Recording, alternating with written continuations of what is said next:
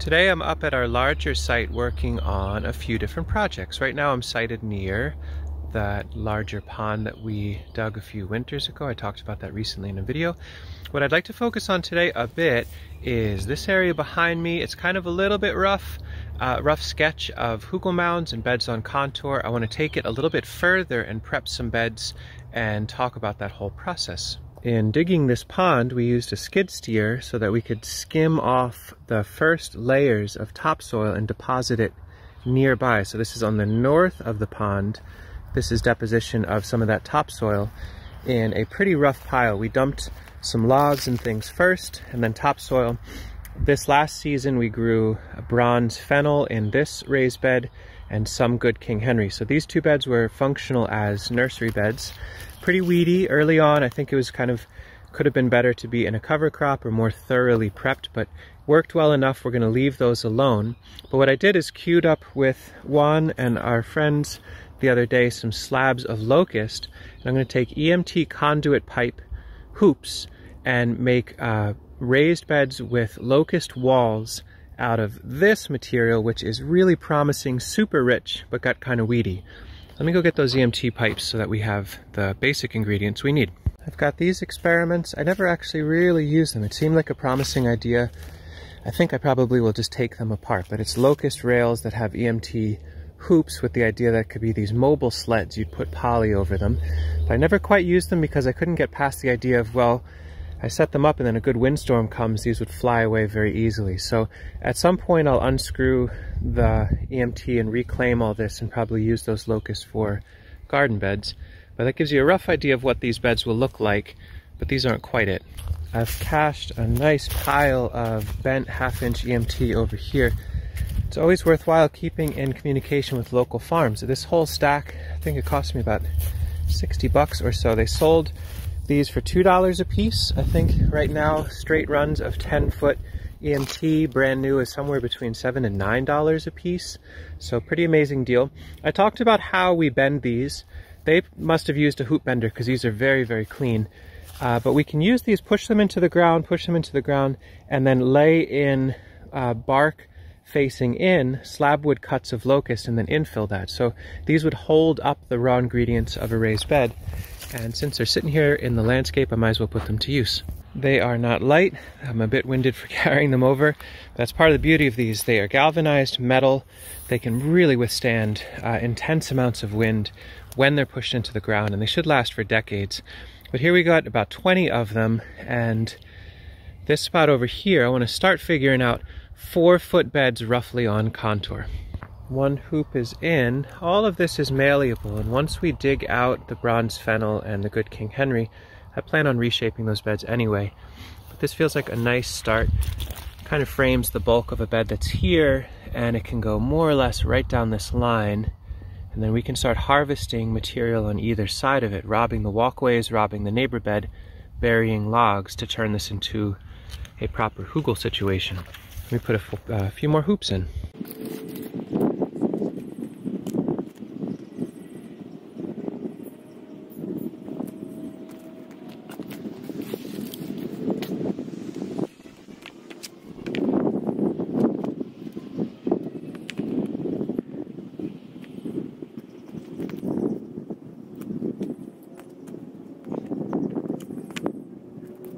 Certainly a little slow and awkward at first to just get that basic idea.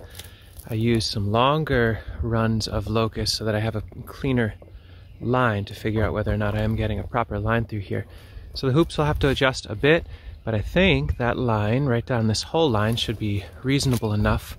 Maybe I'll set in one more section or two, make sure I feel comfortable with it, and then start the actual hugel mound building.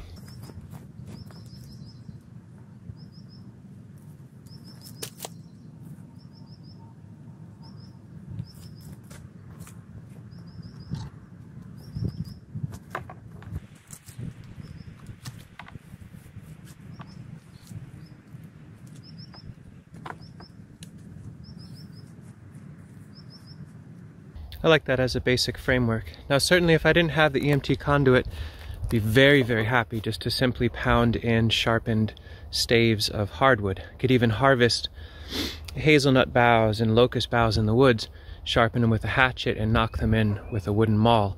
The EMT I have, and it holds the option of me putting fencing over these to protect the beds. A lot of deer move through this part of the property, so since I have the EMT and there's deer and there is the possibility of putting poly over them to uh, do season extension, I might as well use them, but I'm not suggesting you do that instead of wood if that's what you can find. Now I'd like to go through and start actually building the content of this bed. First order of business, I'll dig some of the weeds that are in there, flip them upside down just to bury them. Uh, the whole point of this in part is to have high fertility and to have a really low weed pressure. So where there are perennial weeds, I'd like to dig them, flip them, then build up. So we'll go from there.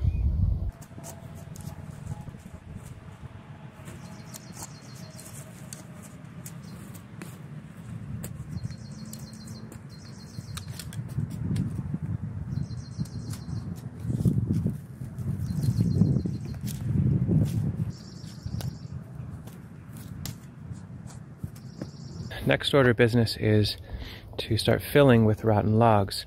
If I was starting fully from scratch, I could dig this out and set it aside and infill, but I've got lots of other bulk material all around. There's logs and debris, there's weeds, there's all sorts of things to fill this with a bit, so I might as well just do that.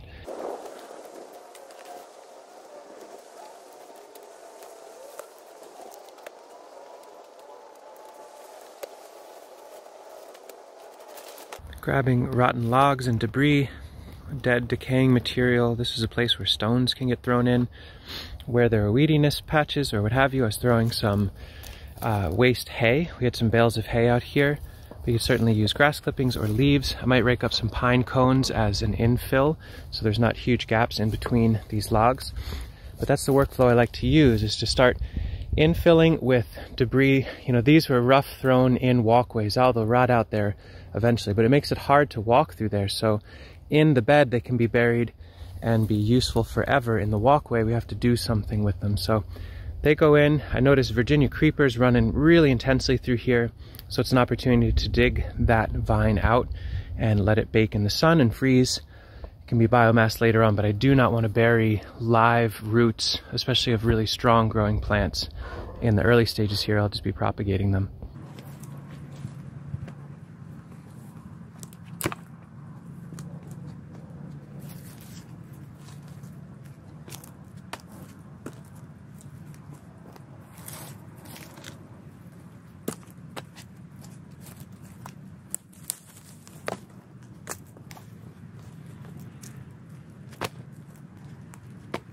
Super rough sketch, but the transition is starting to reveal the woody debris centered into the bed. And the nice part about having either pounded in staves or something like hoops is once I've got enough material, so now these uh, scrap pieces of wood, these could be logs from the woods or branches, they're now pinned up against the upright support. Once this layer is full, I can add in more of these random slabs or branches and in other words, let the bed go as tall as I want. I generally like to go two courses, so about maybe 18 inches initially. It'll settle immensely, but if I can load the beds with the woody debris and then really cap them with some nice soil, they both break down, they settle, but they also provide a nice yield in the first year. More hoops and sticks or um, edges so that I can have the framework and this bed will have the start of a good layout. I'm pleased with that as a basic rough sketch. It feels relatively straight. The beauty of using slab wood or branches or pallets or cardboard or, or, or, you know, rolled waste hay, whatever you want to do for the boundaries, it can move as it goes. There's not like 16 foot long rigid poles that have to be perfectly straight. These can flex in and out, and if you're pounding posts, even better, you can make curves as easily as you'd like. We've got some hugel debris in the middle there more sketch to the end, probably one more section uh, four feet to the edge, and that's the length of this bed.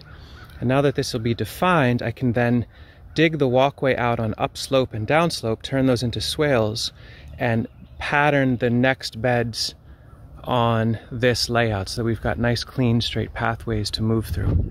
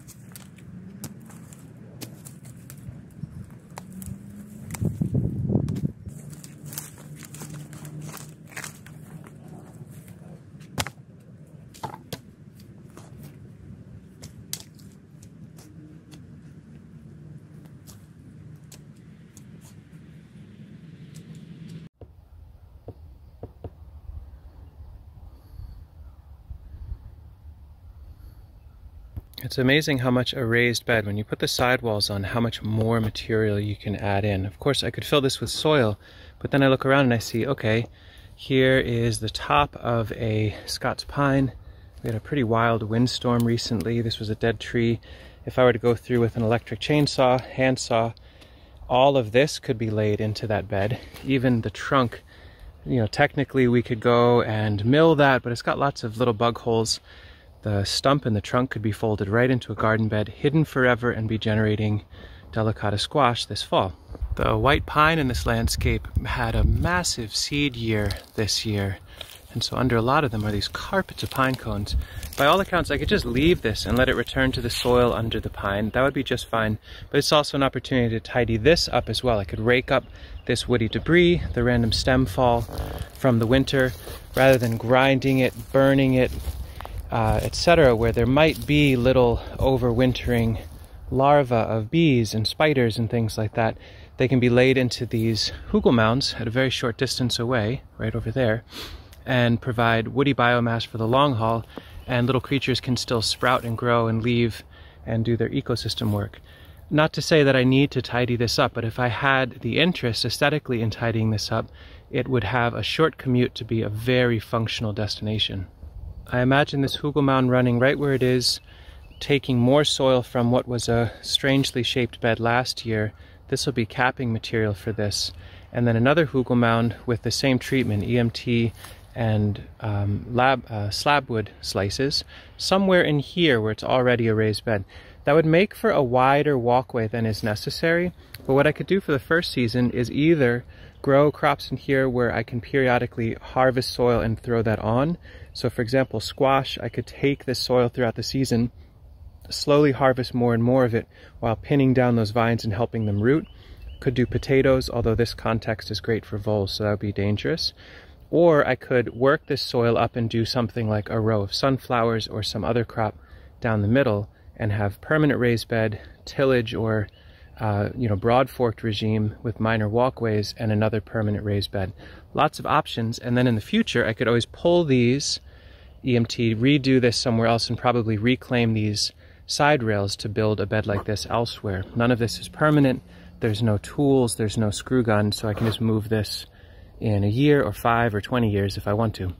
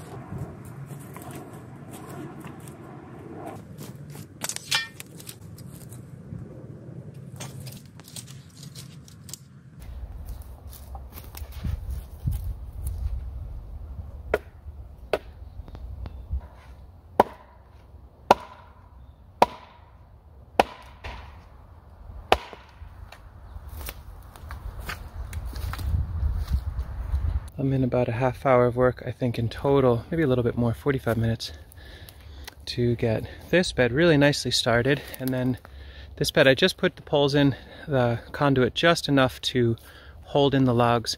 You can see there's a little bit of a little bit turn here. Used a wooden mallet, another piece of wood to pound in a stake, so that's a nice place to be able to make turns. Could still stretch poly over this if needed. Uh, but this way the bed follows a bit more the reality of the layout in here. I'd like to be able to come through with a riding mower or garden cart and have good generous access through here so the beds will have to stop there. This second one is built right on a spot where we've been dumping debris for a while anyway so rather than having to start from scratch there's old bamboo, there's logs, cool we can just go up from there and use this as an opportunity to clean up debris and material from around. And then once we dig up the plants, the bronze fennel and good King Henry in here, we have ample soil to finish capping both beds. Took a break to do some other things, have lunch, and now I'm back at it in the afternoon here. I'm going to take an electric chainsaw. We use this uh, Greenworks 80 volt stuff because we have a riding mower and a push mower, all different gear that runs on that and works pretty nicely. And use it to buck up the top of this tree that fell over in a windstorm. Some of it has gotten into some trees we care about. There's some persimmons and um, English oaks or English walnuts over there. And all that material can get folded into those beds. But first I should slice it up a little.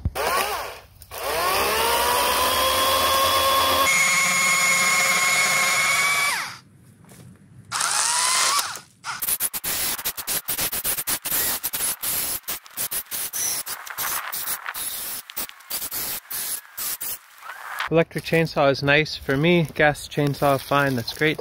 But I also am very happy to use a tool like this, a folding saw and loppers, and certainly an axe on things like softwood could be a nice way to break them down. I'll transition from here into all hand tool, break down the rest of that stuff over there, and start laying it into this bed in particular. This could use more material, and then we can cover it with soil later.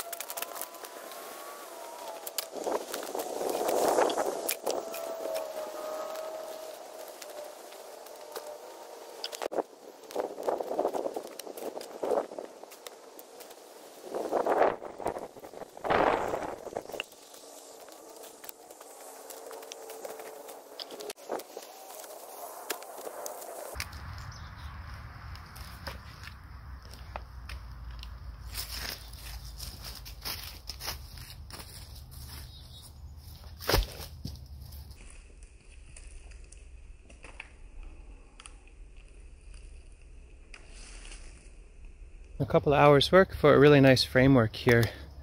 EMT hoops, entirely optional. We just happen to have them. Nice to use if you do have them. But like I mentioned before, here's an ash that came down. Could split that and sharpen that with a hatchet. Those could be the staves that hold up the branches that hold up the hugel mound. I might finish here, do a little bit more uh, harvesting of soil to cover the logs before I leave for the day. The nice thing about this, it's early February. I'm just chipping away at it on a nice melted day.